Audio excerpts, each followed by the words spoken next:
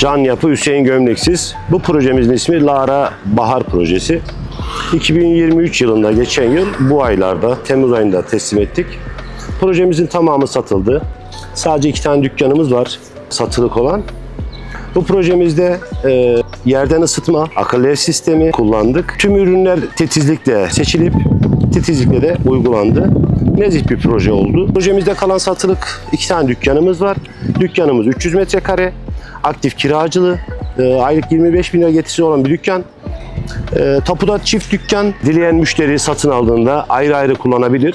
Tapusu çift ama şu anda tek dükkan olarak bir tektir firması aktif olarak çalışıyor. Hazır kira getirili bir dükkan. Projemizin çevresinde e, çok bilindik eski Sülüklü Çeşmesi'nin 200 metre kadar üstünde Melik Gazi Kültür Merkezi var. Ana cadde üzerinde 50 metre altında ve 50 metre üstünde otobüs duraklarının mevcut olduğu e, nezih e, lokasyon olarak güzel bir proje.